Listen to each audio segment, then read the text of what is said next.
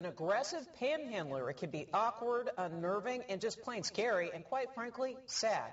Good evening. I'm Ursula Madden. I'm Joe Birch. Tonight we have a rare face-to-face confrontation caught on tape between a local politician and a man demanding money.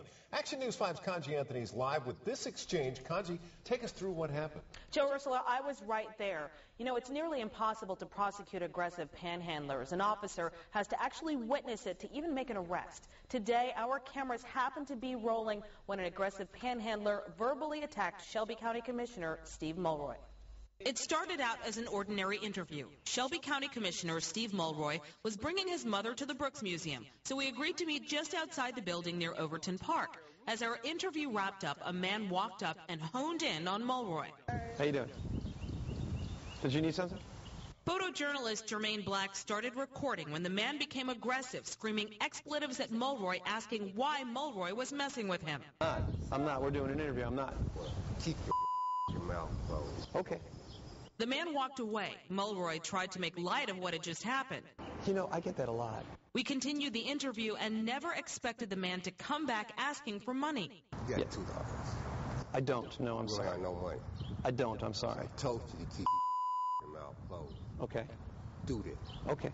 Get two dollars too. Nick, every time I see you, you better have two dollars. You're gonna be here tomorrow?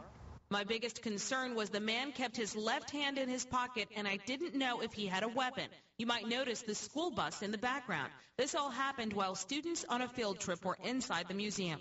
Luckily, they did not witness the commotion. The encounter soon bordered on a physical confrontation. Touch. No, I didn't mean to touch you. two. Okay. All right. Fair enough. The man continued to threaten Mulroy as the man walked away. Don't have two dollars. Kick your Okay. The commissioner said it was a learning experience and was concerned this man and many others need help. And my heart goes out to all the people that are, you know, like this. Mulroy added that this incident demonstrates the need for more mental health services. In fact, the Memphis City Council has been researching how to best address substance abuse and mental problems associated with panhandling. The council just passed an ordinance imposing tougher laws on aggressive panhandling, and that law goes into effect when the mayor signs it. Live in the studio, Kontji Anthony, Action News 5. All right. It's the baby steps we take together that make our community great. Like making a home energy efficient, helping your neighborhood,